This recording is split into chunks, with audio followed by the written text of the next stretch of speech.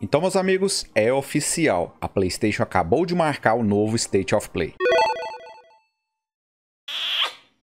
Então, pessoal, semana passada eu trouxe um vídeo aqui para vocês com alguns rumores que indicavam um novo State of Play agora em agosto. E hoje a PlayStation veio a público para marcar o seu novo evento. Então estamos aqui no PlayStation Blog oficial e você já está vendo. A transmissão vai acontecer quinta-feira, dia 6 de agosto, às 17 horas, horário de Brasília. Mas o rumor indicava até a revelação do console em si, o que não deve ser o caso de acordo com o blog oficial. Esse evento vai ser focado em títulos para PlayStation 4 e PS VR. Mas também teremos algumas novidades sobre games do PlayStation 5 que vimos no evento de junho. Vai ser curtinho, cerca de 40 minutos, e o evento é focado em jogos third party, ou seja, jogos não proprietários da Sony. Que? Então tá escrito aqui com letras garrafais, que fique bem claro, não haverá notícias sobre PlayStation Studios no episódio desta quinta-feira. Reservas ou datas de lançamento. Então esquece preço do console,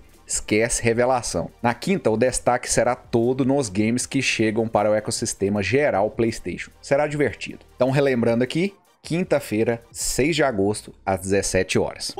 Eu acho bacana quando esclarecem assim que a gente não cria expectativas, né? Isso faz bem para a imagem da empresa. Chegar ali e falar assim, ó, você não vai ver PlayStation 5 não. Aqui somente jogos e jogos de parceiros, né? Enfim, tá anunciado e o que indica que aqueles rumores não passavam de rumores. Mas falando em PlayStation 5, tivemos mais uma novidade esse fim de semana, que é justamente este vídeo que você está vendo aí, ó. Nada de muito diferente a não ser o close aqui na parte traseira. Quando o controle foi revelado lá naquele evento do Geoff Keighley, eu trouxe aqui para vocês a análise e uma das coisas foi a parte traseira que a gente não tinha visto. E aqui a gente pode, a imagem não tá muito legal, mas a gente pode ver com mais detalhes. A gente vê aqui escrito, ó, prototype not for sale, que não pode ser vendido.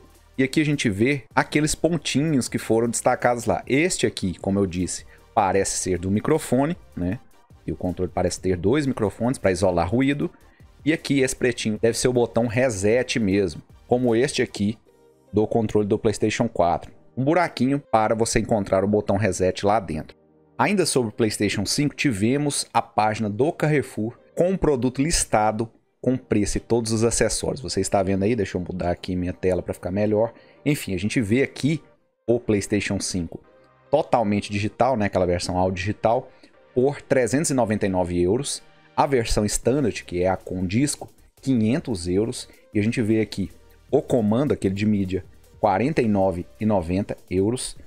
O headset, 49 euros. O carregador, a base de carregamento, 49,50, né? 49,90 o DualSense 50 euros e a nova câmera, né, a câmera HD, por R$ 49,90. Enfim, tem vários rumores indicando esses preços aí mesmo. Mas independente, a gente vai ter que esperar o preço oficial ser lançado. Mas a título de curiosidade pode ser interessante. Esse aqui eu creio um preço até bacana. Para nós aqui no Brasil, cara, é muito difícil. Mas lá fora é um preço interessante num console de nova geração. Não acho. Para fechar, meus amigos, temos um rumor forte rolando aí que aquele jogo dos Vingadores, que será lançado em setembro, terá o Spider-Man como exclusivo do PlayStation. A gente sabe que a Sony tem os direitos do Spider-Man, comprou os direitos da Marvel, né? Esse rumor tem ganhado bastante força, não é oficial, mas se for verdade, é um baita atrativo para jogar na plataforma PlayStation, né? Vamos esperar também uma confirmação oficial. Então, meu amigo, se você não conhecia o canal, por gentileza, clique no botão inscreva-se ativando o sininho das notificações, pois a gente está sempre trazendo as melhores dicas, tutoriais e notícias